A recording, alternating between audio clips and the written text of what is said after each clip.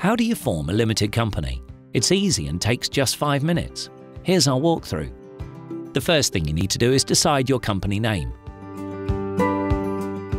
You can check its availability on the Nixon Williams website for free to make sure it hasn't already been registered. In just a few hours' time, your company will be formed and ready to go. Once your company is set up, there are a few decisions to be made that our New Inquiries Help Desk can help you with.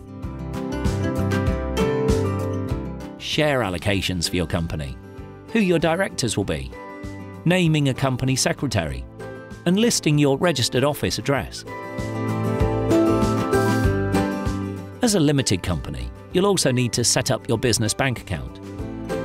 There are a lot of options out there, and we can give you recommendations based on free services and rates of interest. Finally, registering for VAT.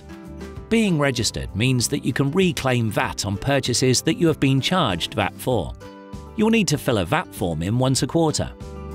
Your other option is to take advantage of the flat rate VAT scheme, which is provided by the government to help simplify taxes. This means you charge the current VAT rate, but pay back the HMRC at a lower rate, depending on your job type and some other factors that we can help you with. If you have any questions about contracting or about finding the best accountant, please call our Best Advice Help Desk.